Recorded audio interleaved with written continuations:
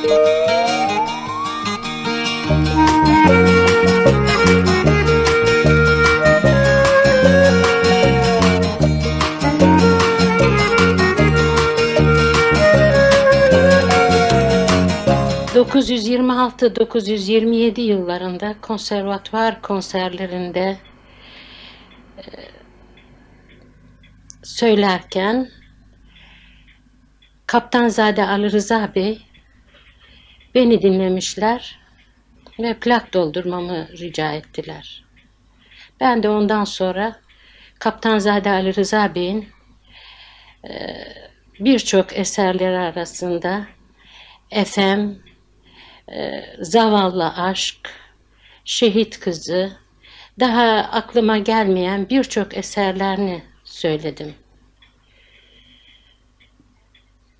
Bunun ardından Mustafa Şükrü Bey'in ve daha birçok bestekarların eserlerini söyledim.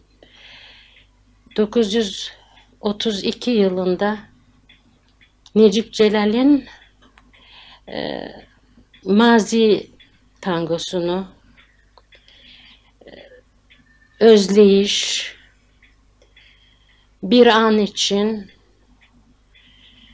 Suna ve bütün tangolarını söyledim. 935 yılında Fehmi Ege'nin ilk tangosu e, Mehtaplı Gece'de ve ondan sonra bütün tangolarını söyledim. Ve 942 yılında e, sanat hayatına veda ettim. Ondan sonraki hayatım devamlı evimle, eşimle ve çocuklarımla geçti.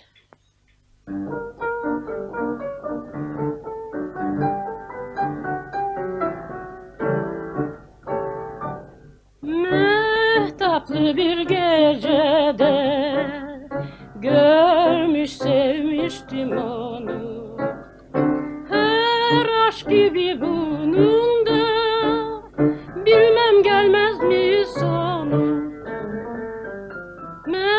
Mehtaplı bir gecede görmüş sevmiştim onu Her aşk gibi bunun da bilmem gelmez mi sonu Sever sever ağlarda sana gönül bağlarda bir gün olur unutur Başka aşık bulur da ona sadık olur da işte aşkın sonudur Bunu gözüm görür de sana gönül verir de sevmem hiç doğru mudur?